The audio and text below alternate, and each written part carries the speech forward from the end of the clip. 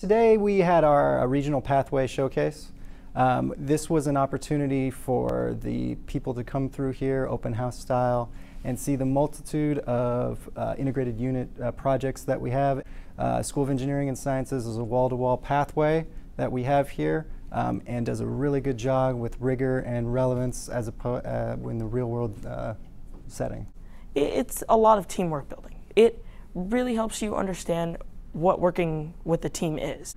I think it's going to continue to develop my speaking skills and my multitasking skills, more so my multitasking skills because I'm able to do multiple subjects at once. The value that I receive from SES is that we are able to work in groups. Ever since I got here from my sophomore year, I was able to work with uh, groups and uh, my classmates and we were able to combine together and share our ideas.